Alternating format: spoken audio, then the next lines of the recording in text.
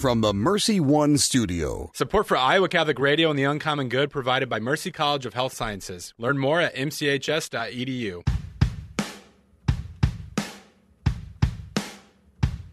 Welcome, folks, to the Uncommon Good with Bo Bonner and Dr. Bud Marr.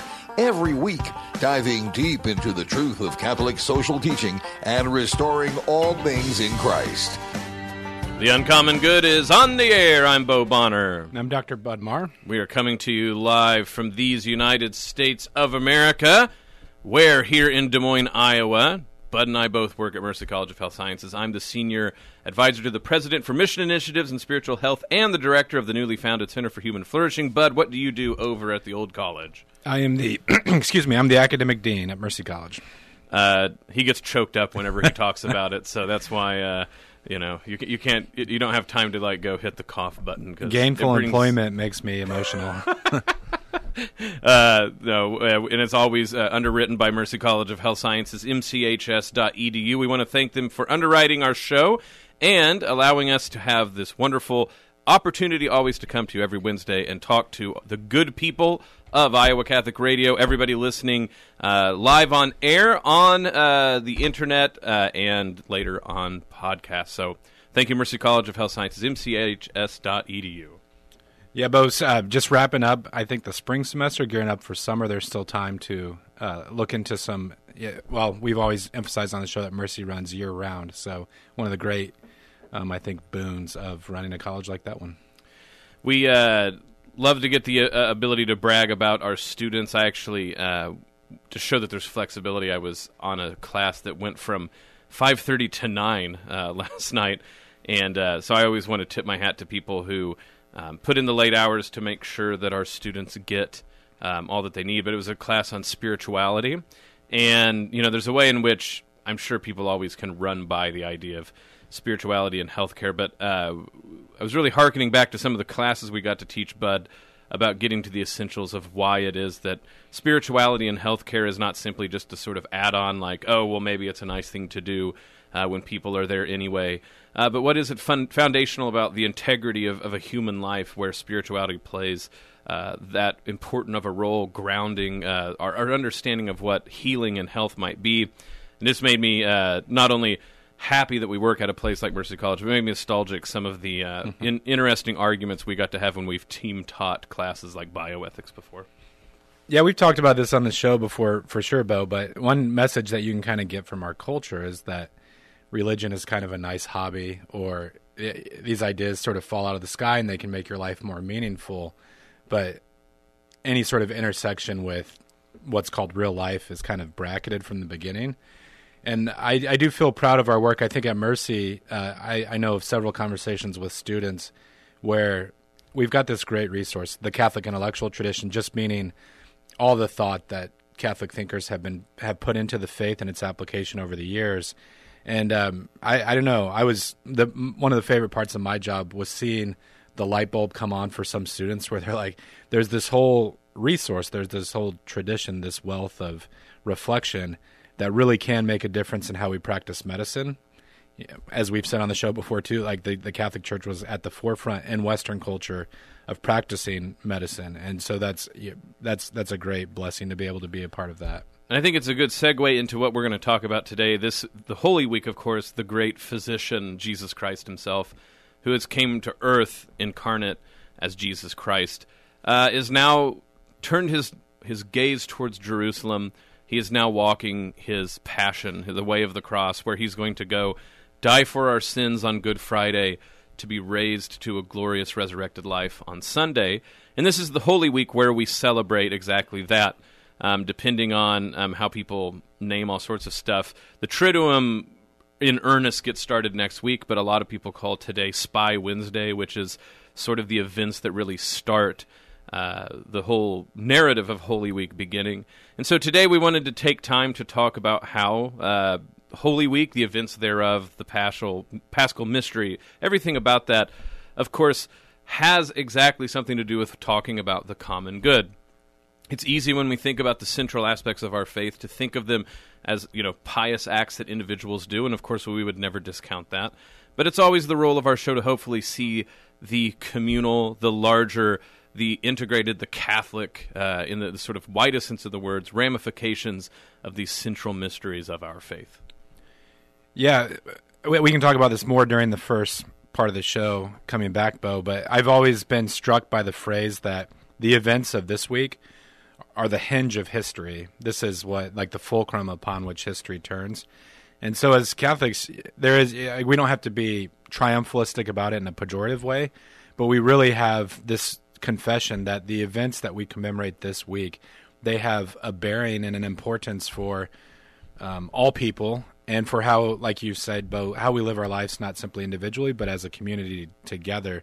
So a lot to unpack on this morning's show for sure. That's right. Just making sure to set up uh, one of the uh, penitentially one of the harder things to talk about the week before Holy Week, right? We shouldn't make it easy on ourselves.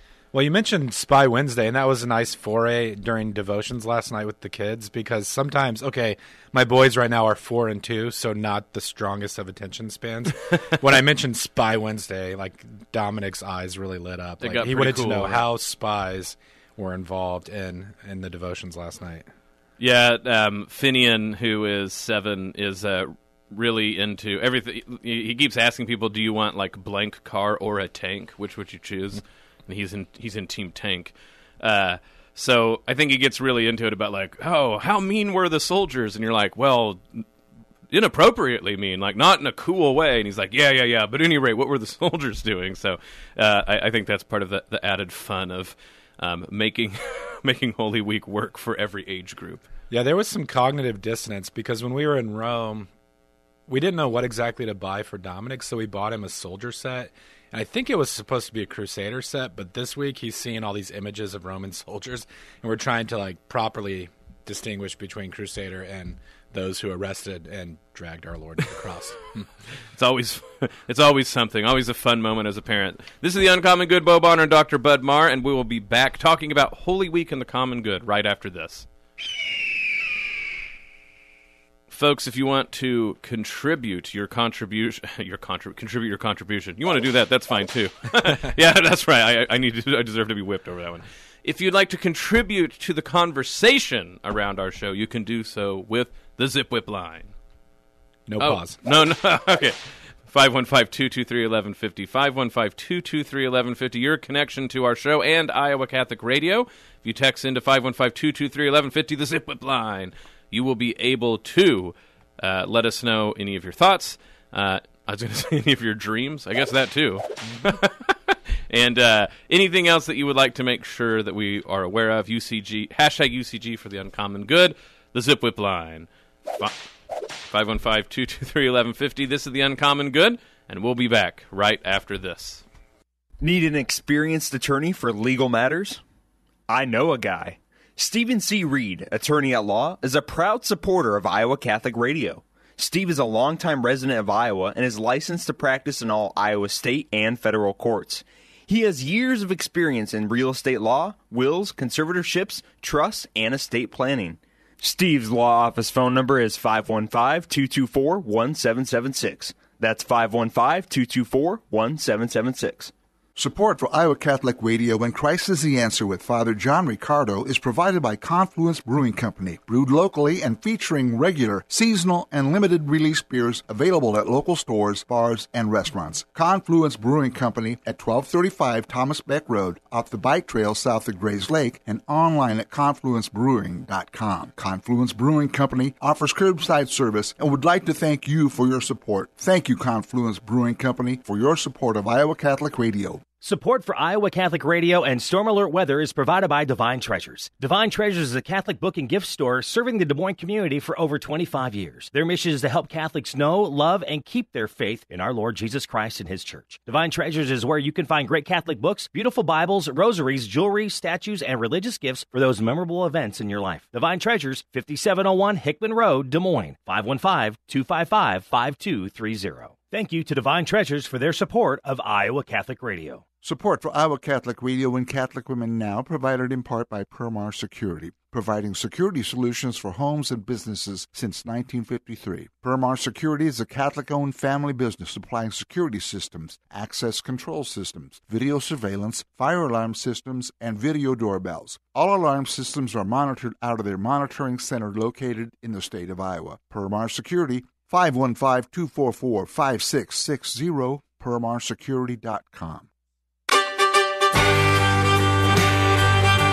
Back to the Uncommon Good. Bo Bonner and Dr. Bud Marr joining you this Wednesday. Thank you for being a part of our show. We're glad to have you here with us. With us today, Wednesday is not an interviewee, but the story of our faith itself, Holy Week, the most important week of the year for all Catholics, all Christians, as we contemplate what Jesus Christ himself culminated and finished and then opened up for us through his life, his teachings, his death, and his resurrection. And so we're hoping this week, uh, today, to talk about this week, as we said, in, in terms of the common good in Catholic social teaching. Of course, the, the, the, the very soapbox bud that we're always uh, making sure to bring up. But I think it's important when we get to uh, the very pivotal parts of the liturgical year that we make a concerted effort to think about how, of course, you will have personal piety involved in dealing with, uh, in, in, in entering into the life of the church. Um, but we can take a step back this Wednesday, right before we get into full swing with the Triduum, and ask how is it that the mysteries of this week make a distinct mark on how we understand ourselves as a people, the common good, social teaching, etc. Yeah, I like that attention you draw, Bo, to the individual and social dynamics of what's going on here.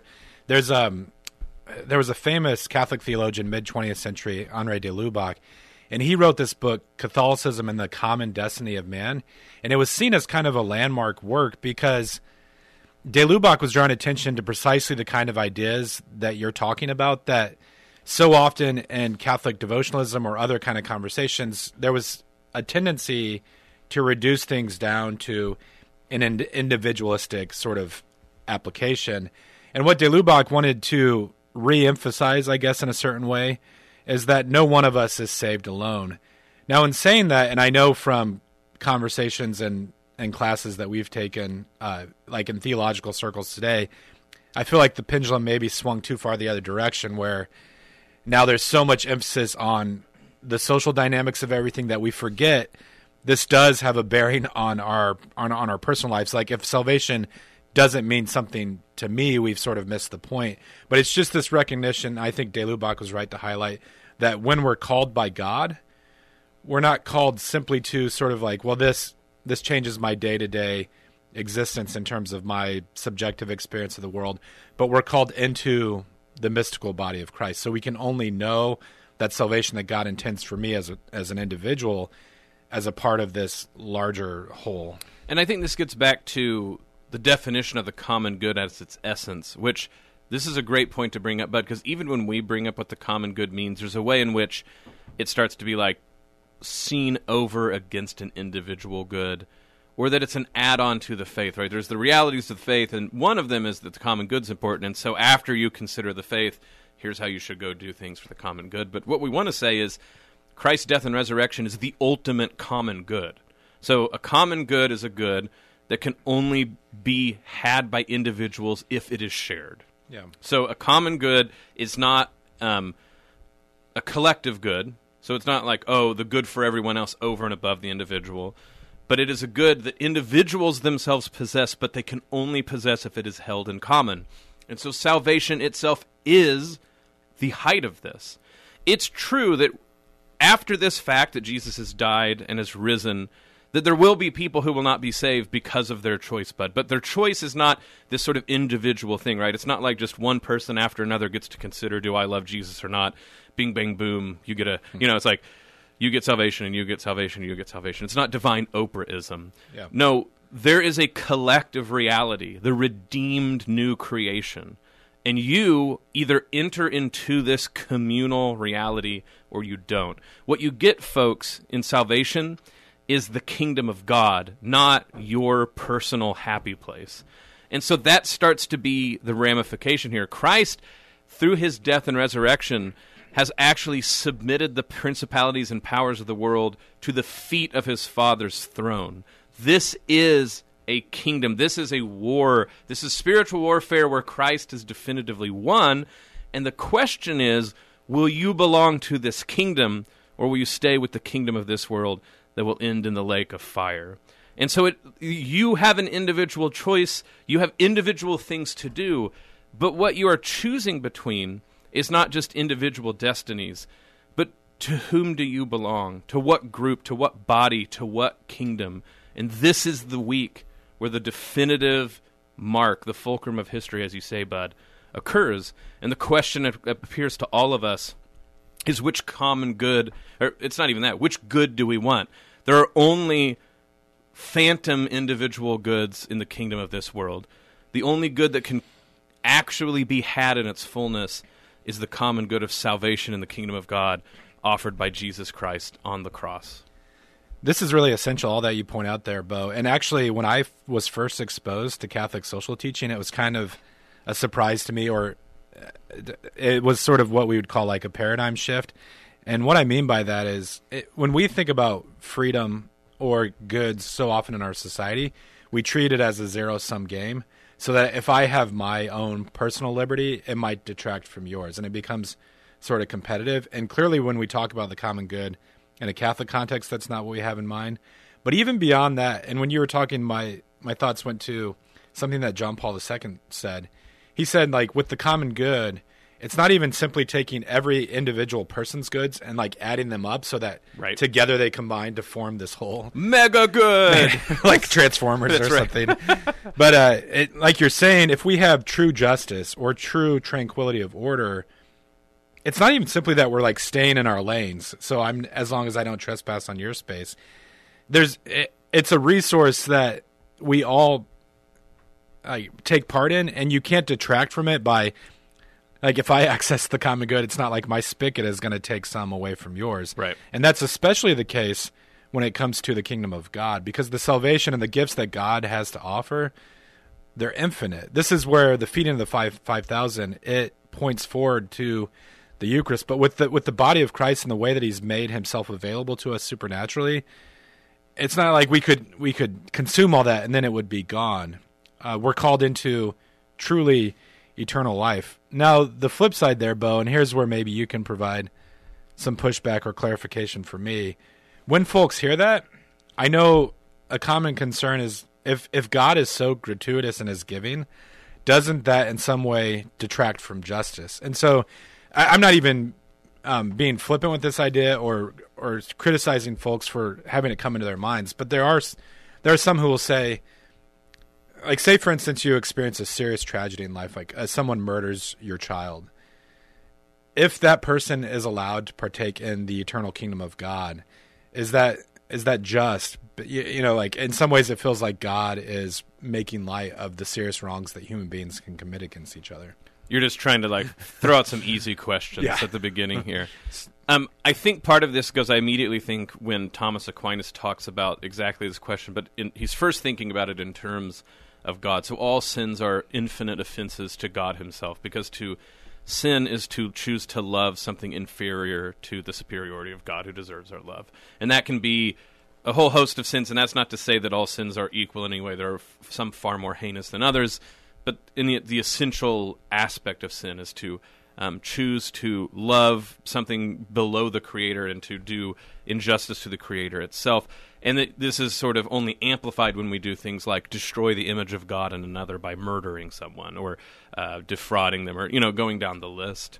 And so thomas points out that strictly when speaking about god god himself if you if you are owed a debt it is not injustice for you to forgive the debt. Because what's you are owed something and if you decide you, you you're like you know what i call it even that's your prerogative and it's not being unjust so strictly when we're thinking about god and the sinner god has every right and I- and i mean that like in a sort of legal sense every right to decide that the debt um, doesn't need to be paid back to him now the question starts to be of course that there are no sins or there are very few it would seem that don't have exactly the social ramifications that we're talking about. So that other people, of course, are wronged and have that sort of uh, a, de- a debt held against the sinner on their behalf because they took something from them. And so this gets into the larger question about um, can God Himself ask us to forgive others? And so this is where I think you have to say, because God has offered it so freely to us, we, with grace, not on our own accord, have to be willing to forgive others, even the most egregious of sins, even if it takes a long time, or maybe in purgatory, or maybe only when we're actually resurrected with God's grace. But of course, God Himself says that that forgiveness He asks is not going to be sort of of our own will. It would be, I think it would be wrong, and I think the pagans are correct to say that it's not within us in just human terms to marshal up the forgiveness, or very few people can, I should say, that can marshal up the needed forgiveness to forgive someone who's done some egregious wrong to us, but that through accessing the storehouse of grace that Christ Himself has won through the cross and resurrection, again, this sort of communal sense, in a way, Bud, we learn to forgive with God's forgiveness other people, knowing that it, it stretches and perhaps past the breaking point to ask humans to do this all on them on their own and of themselves. Yeah, I think it's precisely this week, and especially the liturgy that we're going to celebrate on Friday, Bo, with good with Good Friday, that shines a light exactly on how grave our sins are, and um, and what it means to to commit an offense, and that it, it is caught up in this supernatural reality. Uh, now, of course, this kind of this this steers us a little bit in the direction of the way that different Christian traditions think about this, and even a great biblical scholar, someone like N.T. Wright, who's written some important works on the New Testament. I was reading him on this topic recently, and when he was talking about the Catholic idea of purgatory, he quoted the verse from St. Paul's letters that there's now no condemnation in Christ. And so the implication is if you have like this Catholic theology of penance and purgatory, etc., you're sort of perpetuating uh, condemnation, whereas you know God has completely forgiven our sins. And to me, especially as someone who's been in both worlds, the Catholic tradition is uh, is realistic about what God has done on our behalf, but also what that means in terms of our relations with both God and with other human beings. And so, I don't know that that idea has always surprised me. Like if someone, say, breaks into my home and steals, you know, a lot of possessions. I could totally forgive that person. That wouldn't necessarily chuck out the window any sort of restitution or or even punishment. And so you use the phrase I think in the intro to the show about Christ as the great physician. Mm-hmm. And if we do have if we do have a serious ailment, if our bodies have been damaged in any way, say you've slipped on a patch of ice and banged the back of your head. just just to throw that out there. You know, it's the the idea that that healing is available if if I go to the doctor and he says, "Look, you've got this gaping wound and these are the steps you have to go through to be whole again." It would be absurd for me to say like, "Well, that guy doesn't care about my health because he's asking me to right. take steps to make make that happen." And so, "Oh, I just thought you wanted to heal me. You want me to do stuff too, doctor?" And so, I mean, as as folks point out, like we we maybe sometimes don't see this completely when we participate in like a regular confession, so confess one on one with the priest. But that whole process is really embedded in understanding that when we sin, it doesn't only affect me personally, like my soul, but it ruptures my communion or relationship with the body of Christ. And so the Catholic Church's whole system of penance is about setting things right. It's not about doing enough until like my my feelings of guilt are expunged or whatever. It's about wholeness within my own life and in the life of the body of or, Christ. Or even making God happy. Like God's like, I was really bummed until you said those ten Hail Marys. Right. No, I mean I think that's important. You know, in the Exultet, I, I, I just say this over and over again. The, the, the Easter song um, in the the, uh, the the Easter Vigil, to ransom a slave, you gave away your son. Right. That's what we we praise God for doing. And so we could never make up for that, just like we could never make up. I mean, one of the things about forgiveness, right, is when you do something wrong, you actually can never make up what you've done. Like all restitution is symbolic.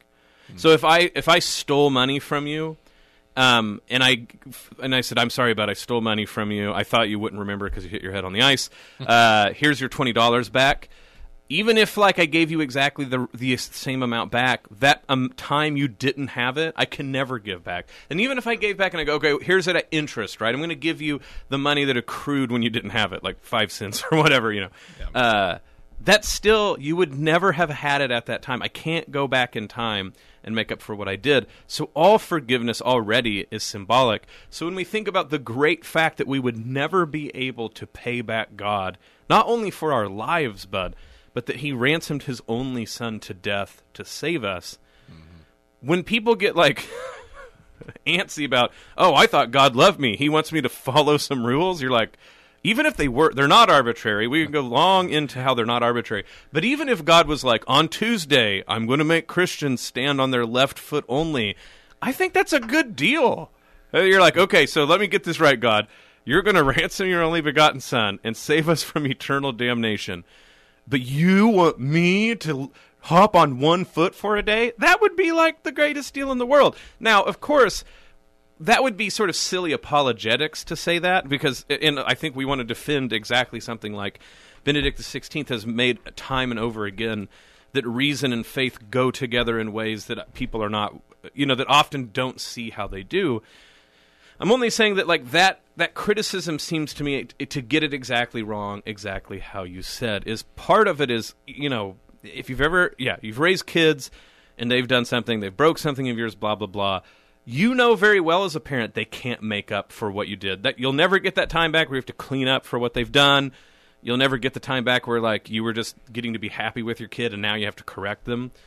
So it's not that you can ever make your kid one to one ratio make up for what they did, but in a pedagogical sense, you're like, you know what, you're going to go clean your, you know, your sister's room, even though it's not your chore because doing that will like you said get you in the habit of instead of doing this vicious thing you'll do this virtuous thing instead.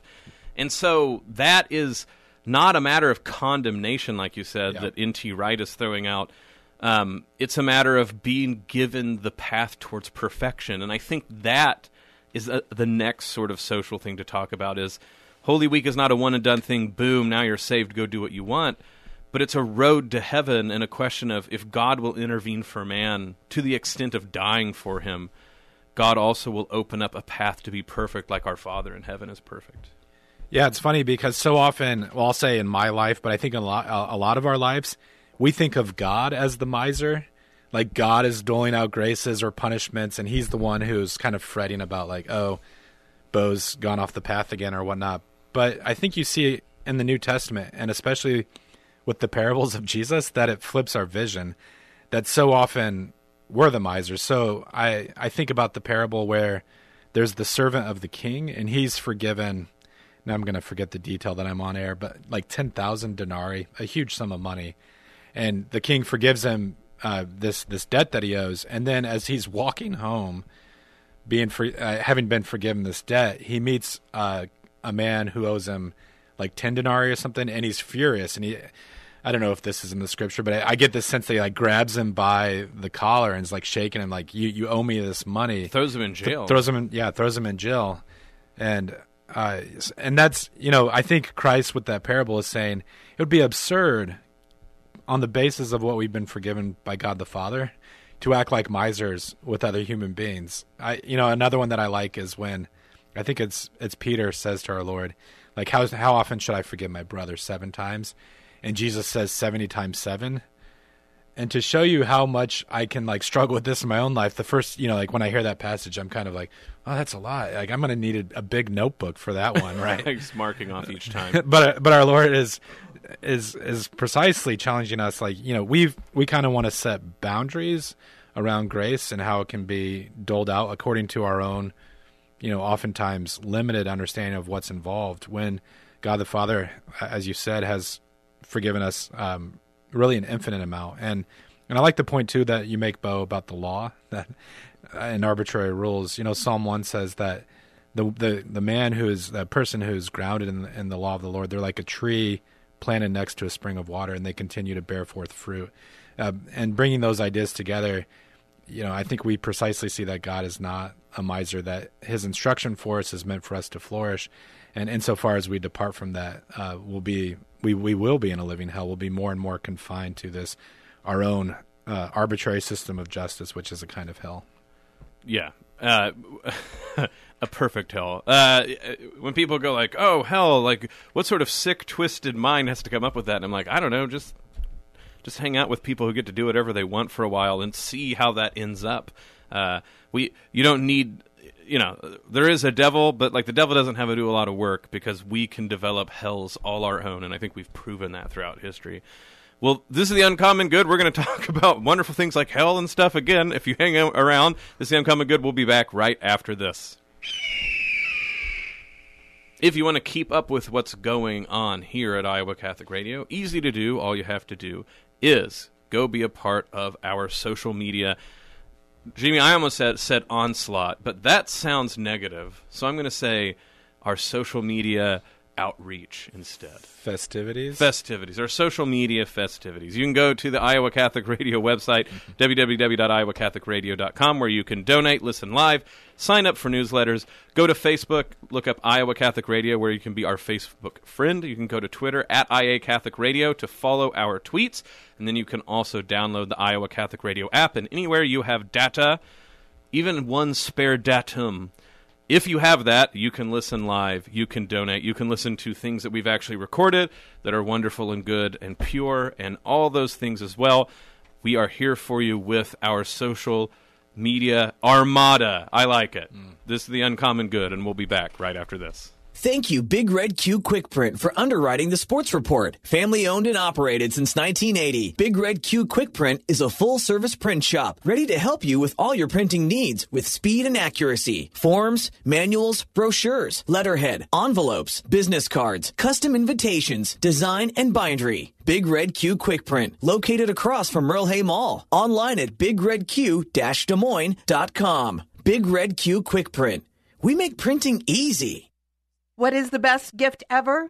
Giving a Catholic education is at the top of my list. Your contribution to CTO helps families send their children to our Catholic schools who otherwise could not afford it. In giving to CTO, you receive the best tax credits ever. Pledge or donate online at ctoiowa.org. The bottom line, it's for the kids and their future. Support for Iowa Catholic Radio and the Uncommon Good provided by Mercy College of Health Sciences, where you can chart your course for more. This is Bo Bonner. And I'm Dr. Bud Marr from the Uncommon Good. Mercy College provides unparalleled clinical rotations, hands on learning, accelerated education, and flexible schedules. Since 1899, Mercy College has been transforming students into healthcare professionals. Guided by Catholic values, our faculty put classroom theory into practice. Students are prepared for roles in service and leadership throughout their own careers. Learn more at mchs.edu. Here's your forecast on Iowa Catholic Radio. Gusty wind will continue through the afternoon as high pressure moves in from the west. It's a pretty cool air mass, and that'll keep us in the 40s for the afternoon, and the wind gusting over 30 miles an hour. We should get sunshine. Clear tonight and cold and breezy with our low near 25. A little bit warmer tomorrow with sunshine. We'll warm up to about 48, and then a big warm up on Friday, mid 60s. I'm meteorologist Steve Hamilton on Iowa Catholic Radio.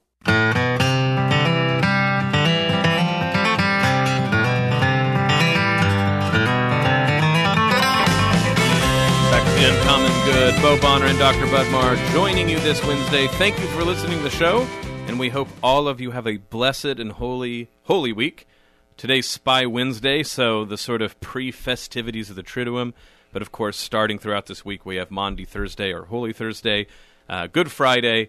We have Saturday where we're waiting, of course, for Christ to be resurrected. Uh, we have those who are going to show up for the Saturday Easter vigils. Uh, you know, commonly called midnight mass, but usually starting a little bit before that. And then, of course, Easter Sunday.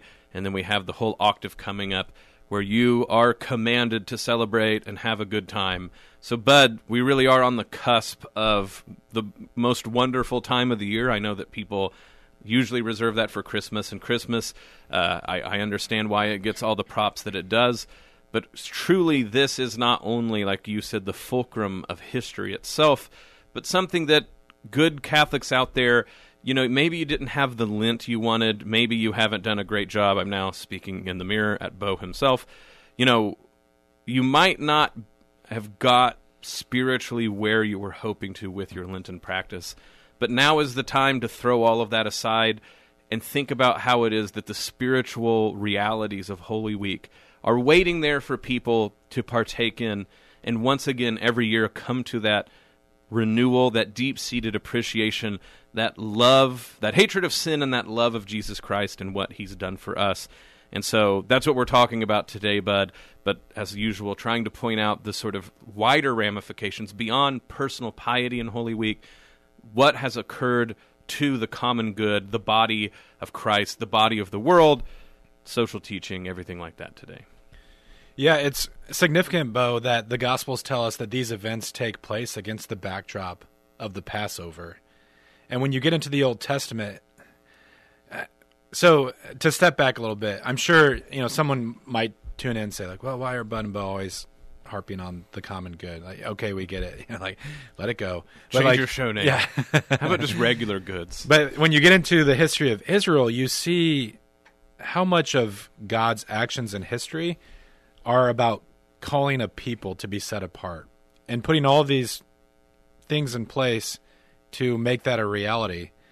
And our Lord's sacrifice, this event on which all of history hinges, the gospel writers show us that this is rooted in that entire, like all that came before. The sacrificial system is was in many ways a recognition, like we've been talking about, of uh, the injustices that our sins involve. Like a sin is really a privation of the good. It's a rip in the fabric of the universe. It's not what God intended for life to be like. Uh, and so, I, I mean, I, I, like that phrase that you used in the first part of the show. Like these, these things aren't arbitrary. God is putting things in place precisely for His people to be made right, and to and to know their ultimate destiny. When Christ comes, um, it's it's important for us to recognize that He doesn't simply wave wave a wand over what's there and say like, oh, everything everything is okay now. There's this there's this understanding in philosophy. It's called voluntarism that God can sort of just like say whatever is the case and make it happen. God is all powerful, but he also God always acts in accord with his own goodness. So the sacrifice, this willing uh, path to Calvary that Jesus takes, and then offering up his own life, that's the ultimate expression of God's love. And I've mentioned on the show before, you know, like my own reading is a lot in the theology of John Henry Newman. He makes this interesting point that Jesus, the Son of God, would have become incarnate whether or not we had sinned. Because Christ is the perfect image of how humans are supposed to live, but with with sin, with um, with the wrongs that we've committed, when Christ comes into the world, the full expression of humanity, the full expression of love, it's rejected it's rejected by sinners. And so his death on the cross, when he opens up his arms, he's making this really is the birth of the church, and it's the it's the opening of the door to the kind of community and the kind of way of life for which we are intended. Yes, all all sin is a rejection of God. And so when Jesus Christ was God incarnate, he came expecting to be rejected. Um, it's not like a certain very um, roughshod understanding of atonement theory, where you know God's like, I'm so angry. Where am I going to find the piece of meat that if it got destroyed, I'll be happy finally? And then Jesus is like, Well, I'll volunteer. And then that that like means his whole life and ministry, and even his resurrection in a weird way, is worthless. If that's the idea, it's just a matter of needing the appropriate um, sacrifice to you know expunge God's anger. But instead, God intimately knows that his love is constantly rejected by humanity because of sin. So when Jesus Christ, God become man, knows he will be rejected. This is where, you know, was the cross uh, predetermined? Was it? Yeah. How did that all work? It's sort of like a, a, a secondary question or a question that sort of misses the point because knowing that we've already been rejecting God's love since the beginning of time so Jesus comes as a man among us knowing he will be rejected, but knowing that he will make the very rejection the means of which we will be brought back to him. So our rejection of him that is culminated in the cross, and not just everyone's individual rejection, but now all the powers and principalities of the world, all that humanity can muster has rejected Christ on Calvary. uh, the political system. And, and this is why sometimes when people really go on and on about Rome being sort of like the apotheosis of, of the ancient world's understanding of an empire, we mess this up sometimes, make it like, isn't Rome peachy keen? And hey, Roman roads, cool, right? Uh, Latin, uh, veni vidi vici, you know, great stuff. But actually, the idea is Rome is all about the law, and there's some way in which they are the sort of height of human law. But notice that human law condemns God to die, not simply. You know, th- this is important, Bud, that it wasn't a random robber that you know kind of killed Jesus. No, the legal authorities of t- the time killed Jesus. The religious authorities, the the very people that Jesus, that God Himself had chosen to be the the paradigm of religion, rejected Jesus. Everyone rejected Jesus. Humanity killed God. But God, knowing this, ransomed his son to make death, his death, the very way in which life would instead emerge, paradoxically it seems, from that very event. And so it's not only, it's true, like every song you've ever heard, and now I'm starting to show my 80s evangelical sort of like background. Yeah. Every song that's like, then I found the hammer in my hand, right? Like you, you know, yes, our sins crucified Christ, but it's very important that I, not just I crucified Christ, we did. The height of humanity did. The highest political authority did. The highest religious authority did. And in doing so, against our own very will, Bud, we actually open salvation to all of us precisely through the cross. And like you said, it's important that people see that. You know, you, you brought up voluntarism just so people realize Bud's not saying that's cool. That's that's a heresy, right? Um, God Himself does not just magically. He can't make anything happen because He can't make two plus two equal five and silly things like that. God doesn't go against His goodness, and part of His goodness is reason and rationality. So God has allowed it where history itself and all of its difficulties and foibles now become the the seed, the source, the foundation of our salvation. And that's why it is, of course, individual. You are saved by the blood of the cross. But we are saved through that event, all wrapped up in human history. Yeah, and um, sorry, brain freeze right when I started talking. I think what you're saying really unfolds the mystery as to why Christ speaks so much about kingdom and the reign of God. Look, as human beings, we're inherently social creatures. You can talk about what makes a human distinct from other animals. Part of it, I think, is that we're created to worship, but part of it is that our lives as human beings can only be lived socially. You know, we we kind of have joked in class with students. Or asked them before, like, how long could someone live out? Like, at what age could you put uh, a human child out into the wilderness and he would find his way and survive? Right? Yeah, because like all other animals would do a, a, better job, would be able to survive more quickly than a human. but really, at the end of the day, none of us would survive. Like our Right. Our our lives are meant to be lived together, and you see what happens from that Tom Hanks film. If you're really cast away on an island, Right. you lose your mind, right? Yeah. And It's volleyball time.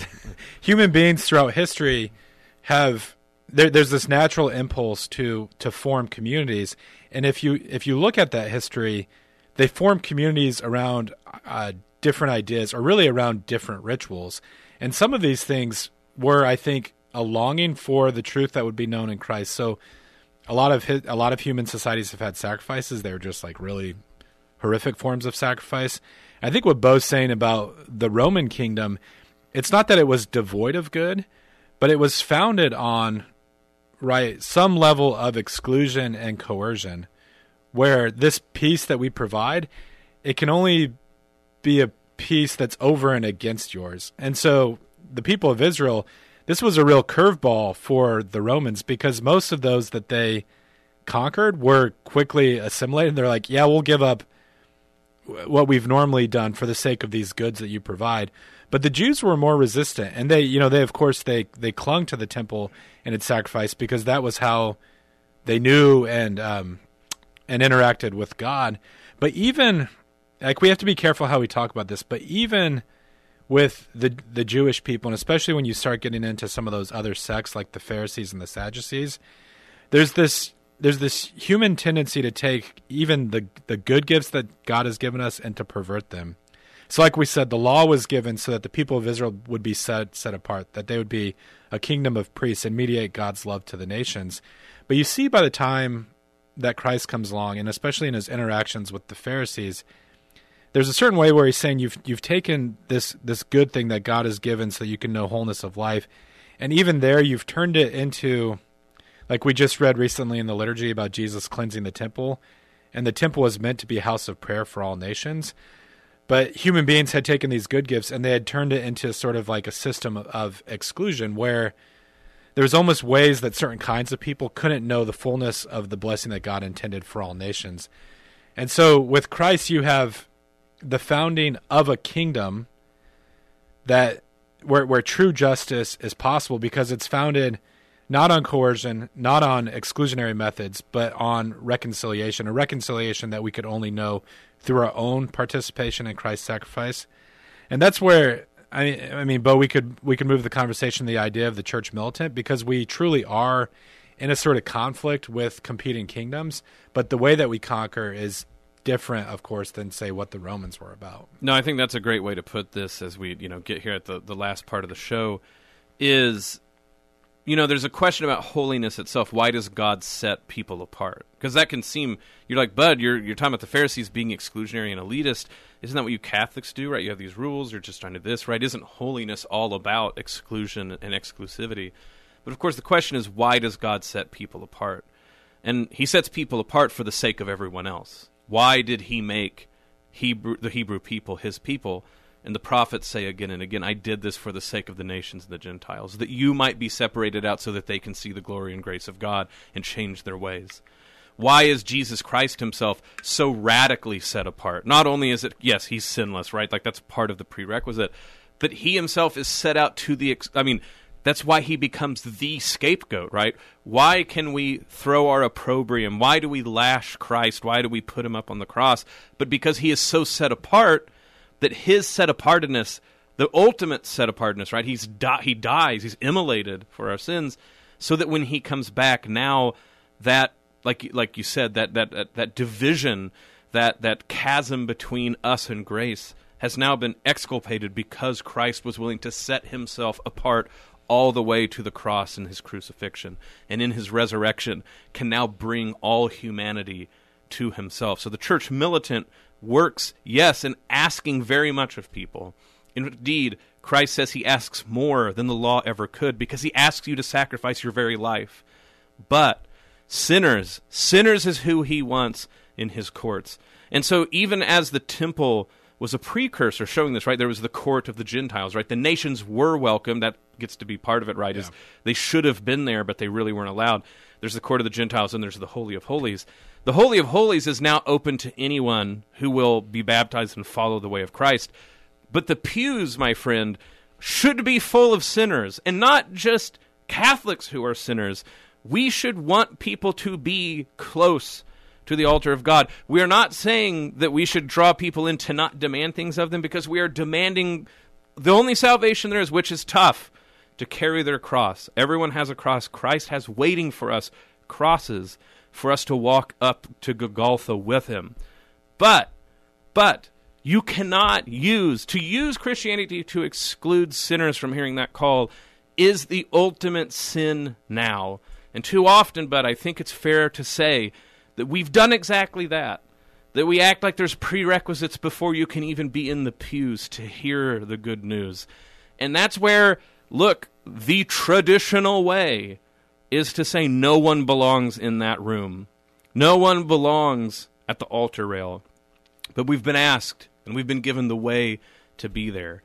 And so, friends, we must realize that the, ex- that, we've been called. We've been called to be in the world, but not of the world.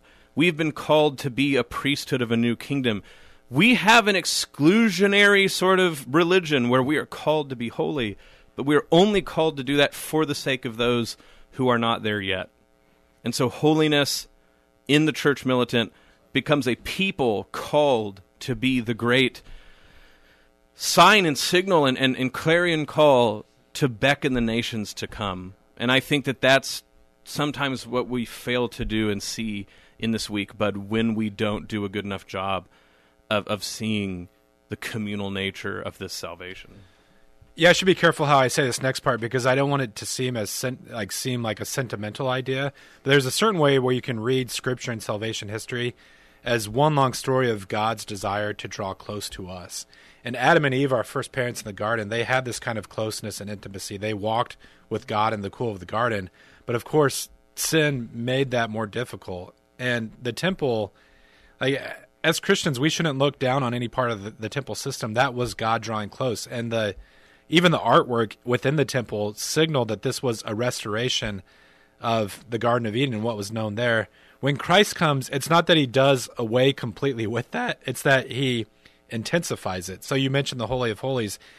And under the old covenant, the temple was a great gift, but there were still these kinds of barriers and it was precisely because God is all holy. There's this like electricity to his holiness. With the coming of Jesus, the temple is his body. And so we're able to draw near in a way that those under the old, old covenant that they longed for, that they looked forward to.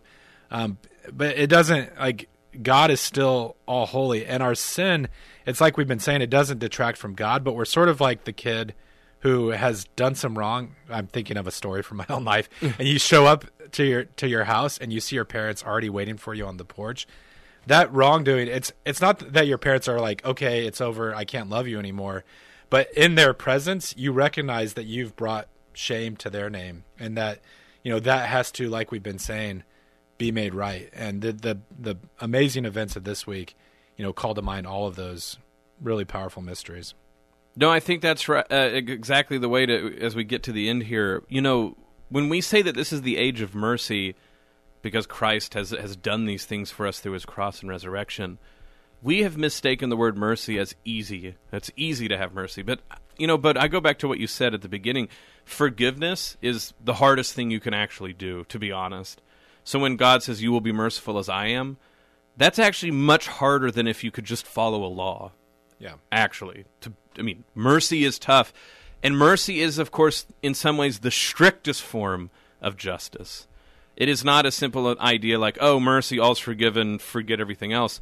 No, mercy is to say, what is the ultimate goal of justice itself? And if justice is to give each their due, God, God deserves a choir in heaven. God deserves to be loved and worshiped and adored and glorified. God deserves sinners, sinners saved to be a part of his kingdom. And so we actually live in these end times which are more intensified with, like you said, the electric holiness of God. It's not that being a Christian is easier. It's open to everyone. But actually, once we are baptized to live in line with Christ, to die with Him so that we might be raised, that is the ultimate request for God to be near us, but to be within us, bud. And as everything in the scriptures point out, our God is a God of, I mean, this is the Hebrews, right? That, that our, our God is a God of fire, and that to be near Him is to be both loved and to feel that love, but to also uh, be afflicted, afflicted with holiness, that we now have uh, God Himself making demands of us because He is drawn so near. And so that's both exciting, uh, but also the right type of holy fear, right? Not servile fear where we duck away, but realizing that we've been called to something so much ho- holier and higher and uh, loving, uh, but difficult. And these mysteries we celebrate this week prepare us, invite us, and invigorate us to do those things. This is the uncommon good. May Jesus Christ, the Prince of Peace, reign in our hearts, our families, our city, our state, our nation, world, solar system, galaxy, the whole kit and caboodle. This is the uncommon good, and we'll be back next week. But if folks want to pray with us, of course, at any time, but especially during Holy Week here on Iowa Catholic Radio, what are the ways that they can do so? If you're looking to meditate on the mysteries of Christ's life, especially the events of this Passion Week, we invite you to join us praying the Rosary daily at 5:30 a.m., 9:30 a.m., and 9:30 p.m. You can also pray the Rosary anytime using the Iowa Catholic Radio app. On air, we also pray the Angelus at six in the morning, and then at three in the afternoon, pray together the Divine Mercy Chaplet. And folks, if you want to, we we covet your prayers very much. It is through prayer that we are convinced that Iowa Catholic Radio has been able to be the ministry that it has. But this truly is a ministry, and as it is a ministry, It, of course, does not just involve the people on air, the good people behind the boards, or even the people in the offices. It includes you very much so. We rely on you for the spiritual work that is done. Your prayers allow us to be able to spread this message of the gospel, also your volunteer time but certainly materially with your wealth and your treasure, you have made Iowa Catholic Radio and its ministries possible to be heard throughout central Iowa and everywhere that people can listen online or through the podcast. We want to thank everyone who donated during the Carathon, but we also want to extend that offer to let you know that through the uh, weeks between carathons before concerted efforts uh, for, with things like uh, um, you know, golf outings or, or the, the various uh, programming that we have to try to get people involved in our ministry. We are sustained throughout the week by your generosity, and we want to thank you for doing so. But please keep in mind that we are able to have this ministry solely based on your support. We thank you for it, but we also ask you for it as well. You can go to iowacatholicradio.com or the Iowa Catholic Radio app to donate online, or you can call 515 223 1150 to talk with someone about setting up donations. Thank you in advance, and uh, pray for us, especially this Holy Week, um, as we um, all together get to celebrate this great uh, feast. So, Bud, do you have any sort of great um, plans for what you're going to eat immediately after Easter? This is a debate in my household. Some of the kids want brunch, others feel like without uh, ham, it won't be a true Easter. But one thing I appreciate about our friendship, Bo, is you always invite us to celebrate, to really lean into the octave of Easter. So that's been a good reminder for me each of the 15 years I've known you. I know it's not fair because uh, Bud is does a much better uh, job on the fasting element. So I gotta be I gotta be on team feasting and really make a good show of that. Well, Bud, to you and yours and everybody who's listening, blessings this holy week. Happy Easter, and we look forward to talking to you all next week. The Uncommon Good with Bo Bonner and Dr. Bud Marr is heard every week on wonderful Catholic stations like this one and anytime on podcast. Just search for The Uncommon Good. Support for Iowa Catholic Radio and The Uncommon Good provided by Mercy College of Health Sciences. Learn more at mchs.edu.